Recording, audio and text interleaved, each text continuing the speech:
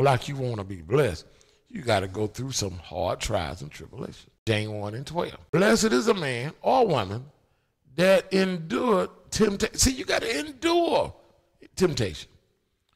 For when he is tried, he or she is tried, he shall receive the crown of life which the Lord hath promised to them that love it. Now, now right there, talk about the, the crown of life. Let me tell you something.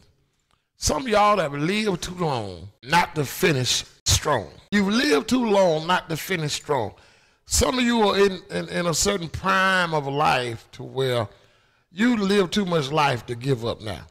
You, I, am I'm, I'm 53. I'm 53 years old, and, and I've come too far uh, not to be thinking about how I'm gonna finish this life. I, I want to finish strong. I want to finish a certain way. I don't want to finish dragging. I don't want to finish backsliding. I don't want to finish.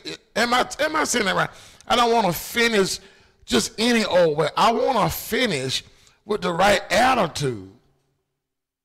And, and, and I know I'm enduring, but I don't want my spirit to get down, depressed. I want to finish life the right way.